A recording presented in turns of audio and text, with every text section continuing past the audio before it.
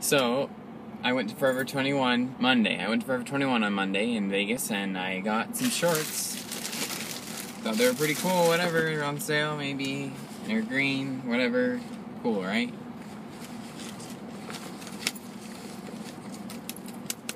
The cashier left this thing on, and I don't want to go all the way to Vegas to do it again, so today's video is sort of like a vlog, but not really.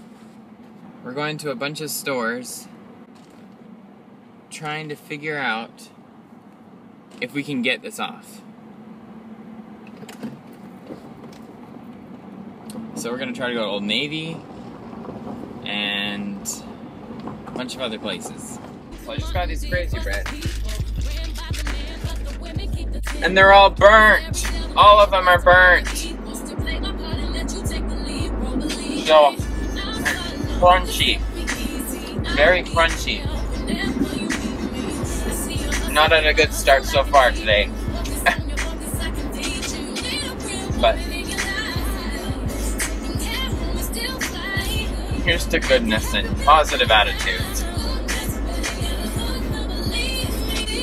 Definitely the first thing I've eaten today.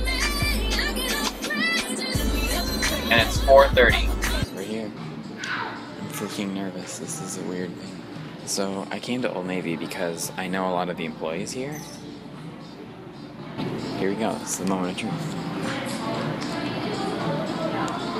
Dang it. So I'm gonna look around for an employee that I know here. Okay, so these are totally different shapes. I don't think this is gonna work. Mine was more of like a. I don't even know. I'm gonna try Dick's Sporting Goods. Hopefully, we'll have better luck there. And that's gonna be even more awkward to me. I feel like Dick's Sporting Goods employees are really intimidating, maybe more like not nice, I would say, actually. I don't know. We'll see. Dang it. They're different shapes, but we'll see. I'm gonna wait for the right moment so that there's nobody else near, so it's not like, can you take this off? it totally worked. they got it off, and she's like, I don't know. And I'm like, please, just try. so the other guy's like, oh, we got another handgun thing that'll take it off too. Okay, so it's off, and no problems. And I'm so happy. Please subscribe to this channel.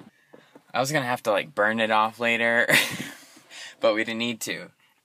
But definitely thumbs up this video, and we'll see you next week with a better video, a lot better, and thank you for watching.